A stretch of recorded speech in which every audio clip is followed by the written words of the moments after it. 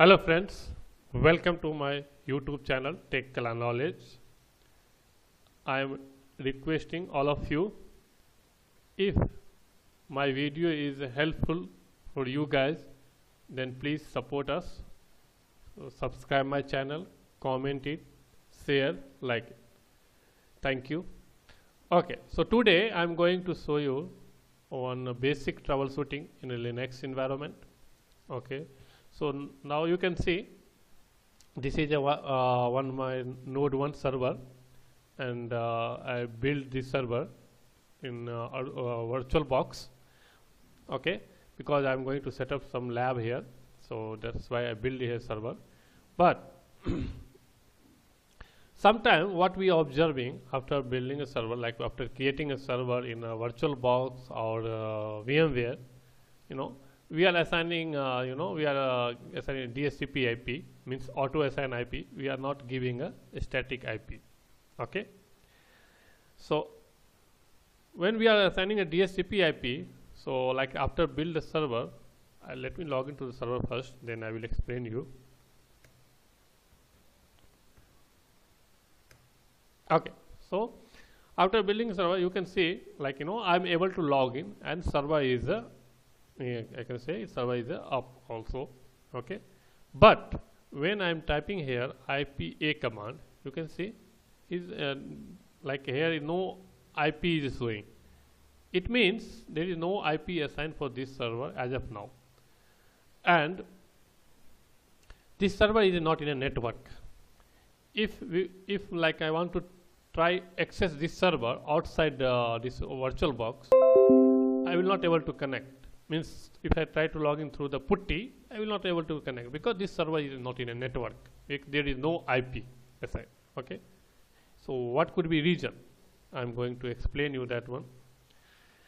If you're assigning a static IP you know like then fine. Like uh, you going to manually you know uh, assign some IP and you go into configuration that network configuration file and then you able to see but some when you are you know using a DHCP IP in the first time and if you're not changing your uh, network configuration file then you know sometimes you will not uh, get the IP so what you have to do in this condition okay? So I'm going to show you here. You have to edit your network configuration file. So vi slash etc sysconfig network hyphen script then then you have to now you can see here then uh, you know these are the ethernet uh, file, file uh, ethernet uh, file name. So you can see as of now I assign the two uh, ethernet card here you can see. One is uh, EN, uh, ENP0S3 and ENP0S8 okay? So forget about this one like uh, second one as of now. So you think about like because I assign because I need to you know set up some lab so that's why. So you, this is the, my first Ethernet card, okay, primary I can say EN, uh, ENP0S3.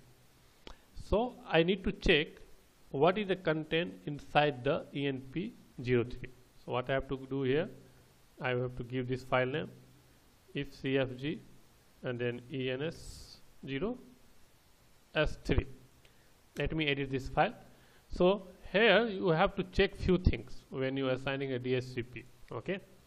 So you have to check here type and then uh, you can see which uh, static on DHCP so I'm assigning a DHCP you can see which type of uh,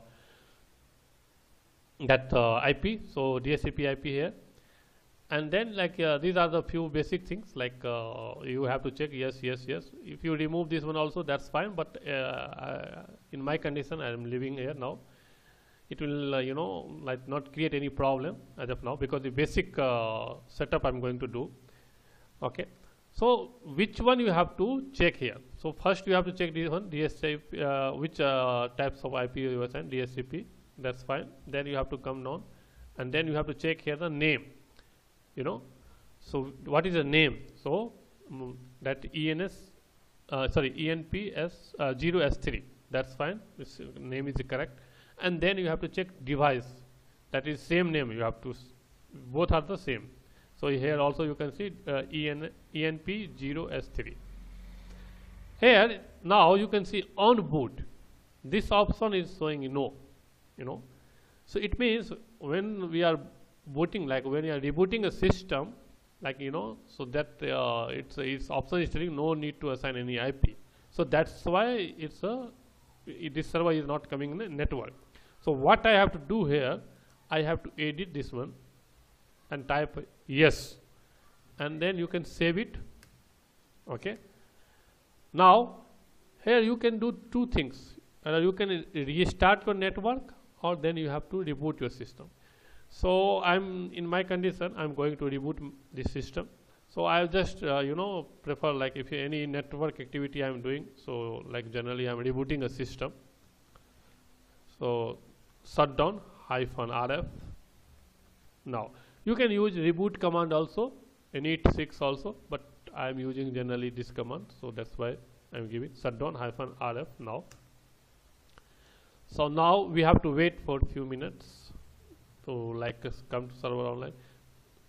So generally you know this video for like you know like uh, whoever uh, like you know in a newly in like uh, came in a linux in linux world like i can say fresher you know. So like they even installing the server on a, on a personal desktop and laptop. So maybe they will face this issue. So that's why I, you know i'm explaining this troubleshooting okay now let me log into this server. Uh, through the root login. Fine you can see now i am able to log in. Let me type now ipa fine cool. You can see now i am getting an ip here you know. If i now cmd if i ping here now this ip